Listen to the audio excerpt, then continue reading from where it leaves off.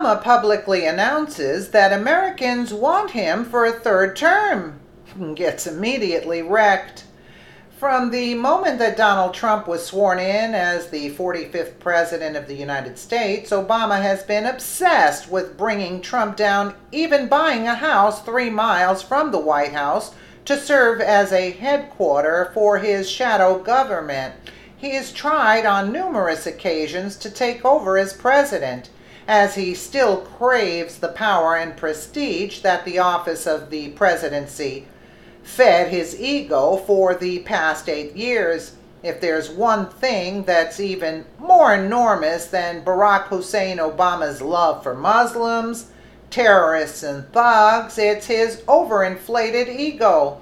It was completely impossible for Obama to give a speech without mentioning himself at least 851 times, as this president made it his habit to overuse personal pronouns whenever given the opportunity. In addition to setting world records for his incredible ability to use the words I and me in a single speech, Obama was also the only president in U.S. history to own a selfie stick as the narcissist in chief made it no secret how much he was genuinely in love with himself. While we'd all hoped that this self loving traitor would drive his golf cart into the sunset, never to be seen or heard from again, that's sadly not the case. Obama is now making his reemergence back into politics to feed his ego yet again where he's been busy fundraising and has been zipping around the world breaking federal law to meet with foreign diplomats in order to sabotage Trump and take back the power he once held. There he is. We've seen that picture.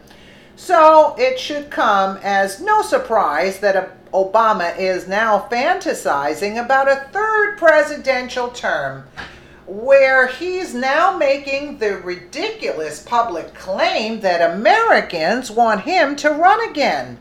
In a recent interview with David Axelrod, he spoke about Trump's victory, quote, fantasy, cockily proclaiming that he had that had he been the candidate to run against Trump, that he would have won a third term hands down, CNN reported. I am confident in this vision because I'm confident that I have run again and articulated it. I think I could have mobilized a majority of the American people to rally behind it. Obama told his former senior advisor, da- David Axelrod, in an interview for the Axe Files podcast, produced by the University of Chicago Institute of Politics and CNN. I know that in conversations that I've had with people around the country, even some people who disagreed with me, they would say the vision, the direction that you point towards is the right one, Obama said in the interview which aired Monday. But Obama's delusions of grandeur are even more ridiculous, or ludicrous, I should say, than his wife's fashion sense, as he'd soon learn, given the former president's brazen claim, we here at Freedom Daily decided to ask ordinary Americans if they do, in fact, want Obama for a third term, and the responses were beyond hilarious. He's absolutely right. The third term should be 20 years to life in Gitmo. I would rather gouge my eyes out with a Taco Bell spork covered in the contents of a Taco Bell restroom at a truck stop and proceed to blank myself with a cactus than see that socialist turd get a third term. He can get lost or kiss my blank garbage along with all involved for nine years. I would rather have herpes, poison oak, crabs, smash my finger with a hammer, have lunch with the Antichrist, move into my parents' house and kiss a liberal, I think he needs a life term.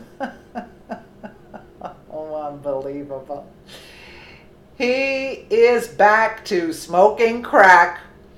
Those are not Americans that want him for a third term. They are terrorists, drug dealers, thugs, illegal aliens, and liberal snowflakes. We all knew what was going to happen the first four years. Then we had a fixed election for the next four years. A third term? Hell no. Obama had a dream to be the Saudi puppet. so true, right? Your puppet master, along with his minions, lie to you. We, the people, want nothing, and I mean nothing to do with you. Obama pulls another bullcrap Americans want statement out of his butt. He must have founded Vanity Magazine. Laughter. Obama needs to stop smoking crack in his dressing room. Just threw up in my mouth. Obama is a, as delusional as the rest of the left. Eight years under the rule of a communist dictatorship is enough. The only jobs he created were for his comrades. It took six months, and still Trump is pulling weeds planted by Obama. His health care plan is a disaster. There is nothing affordable about paying five times as much for less coverage than you had before. Gitmo, Waterboard, repeat, rejoice, change we can believe in, change our country needs. Obama is delusional and charismatic. His followers all exhibit a mental disorder known as liberalism with a side diagnosis of communism and socialism. No known cure at this time. Research is being done by tying liberals to a chair and forced to watch Fox, One America News, and Captain Kangaroo. He is actively trying to foment a revolution in this nation in order to get the New World Order, United Nations involved. He truly needs to be put into some kind of confinement with no external communication of any kind allowed. Give it up, Obama. No one except for the vast fan base of thugs, terrorists, illegals, and liberal snowflakes would ever conceive of such a notion of voting for you, of voting you in for another term. And oh, and this woman, your die-hard supporter who eats Fruit Loop cereal out of a bathtub. what about you? Would you want Obama for a third term? Let us know in the comments below. I haven't seen that picture, but this is hilarious. She put in the bath, this is actually disgusting, actually, but funny at the same time. Let me know what you guys think in the comments below. And again, thank you so much for watching.